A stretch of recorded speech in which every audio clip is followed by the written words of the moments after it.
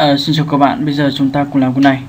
Ở đồ câu này thì các bạn thấy là đồ với phương án A thì nó là đuôi mình. Ở đây thì đuôi mình nó chính là đuôi của uh, của danh từ. Nó là của danh từ. Vậy đối với khi gạch chân danh từ thì các bạn phải xét là danh từ đó đã xác định chưa? Ở chỗ này thì đối với một danh từ xác định thì tôi nói lại cho anh chị à, và các bạn như sau. Đối với khi gạch chân danh từ thì danh từ xác định khi. Thứ nhất là danh từ có mạo từ mạo từ đứng trước. Đây là cái điều kiện nhất. Cái điều kiện thứ hai là danh từ đếm được số nhiều. Và cái điều kiện thứ ba nó là danh từ à, danh từ không đếm được à, không đếm được. Nào ở đây thì anh chị nhìn này nó có mạo từ không ở đây không có mạo từ gì cả. Ờ, đối với nó có s không cũng không s vậy nó có thể rơi trường hợp này. Nào nếu mà anh chị mà nhìn thấy cái từ này mà không biết dịch ấy ví dụ, nếu mà từ này nghĩa của nó là sự sắp xếp, sự sắp xếp là danh từ không đếm được, vậy nó chính là rơi vào cái dạng này.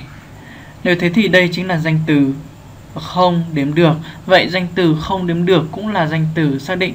Vậy phương A đúng. Nhưng nếu anh chị không biết cái từ này nghĩa là gì, thì anh chị cứ để lại phân tích các phương án còn lại.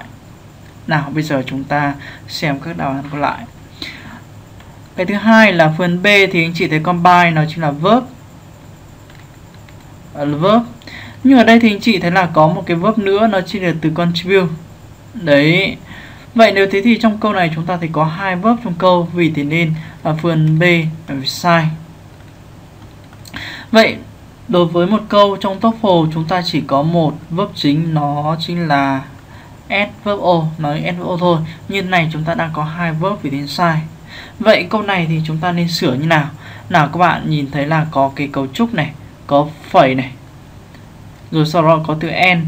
Vậy đây chắc chắn là cấu trúc song song, có nghĩa là a phẩy b phẩy c rồi n nd.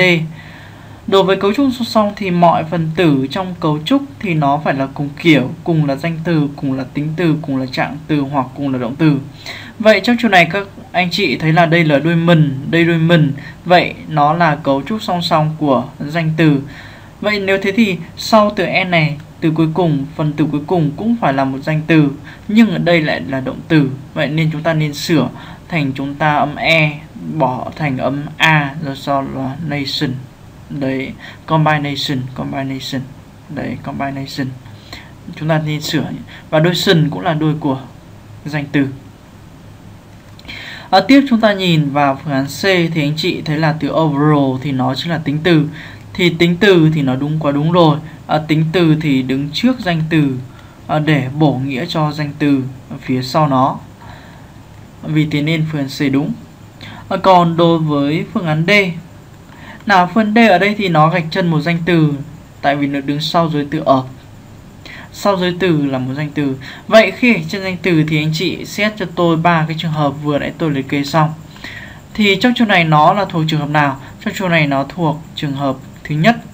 Trong trường này, mạo từ của nó chính là mạo từ ơ. Nó nào, đối với câu này thì cấu trúc của nó như thế nào? Đối câu này cấu trúc của nó rất đơn giản. Nó chỉ có là một câu đơn s cộng verb o. Verb chính trong trường này nó chính là từ contribute. À, sau câu này thì anh chị nhớ cho tôi thứ nhất là xem lại cho tôi thứ nhất là các đuôi của từ loại đuôi của danh từ thì gồm các đuôi như thế nào. Đây là yếu tố đầu tiên. Cái thứ hai anh chị ôn lại cho tôi là danh từ xác định khi nào. Khi gạch chân danh từ chúng ta phải xác định những gì. Còn nếu mà khi gạch chân danh từ mà anh chị không biết nghĩa của từ đó thì anh chị đáp án đó anh chị để lại cuối cùng để anh chị phân tích. Và còn đối với chúng ta có một ý nữa, chúng ta ôn tiếp nữa, nó chính là cấu trúc song song, phẩy phẩy phẩy n hoặc là từ o hoặc là từ bất. Thì đối cấu trúc song song thì mọi phần tử nó phải cùng kiểu, có nghĩa cùng danh từ, cùng tính từ, cùng động từ, cùng trạng từ, vân vân à, tiếp theo thì anh chị lại ôn lại là à, cái danh từ xác định khi nào. Và tiếp theo là anh chị nhớ cho tôi tính từ phải đứng trước danh từ để bổ nghĩa cho danh từ đằng sau đó. À, xin chào anh chị.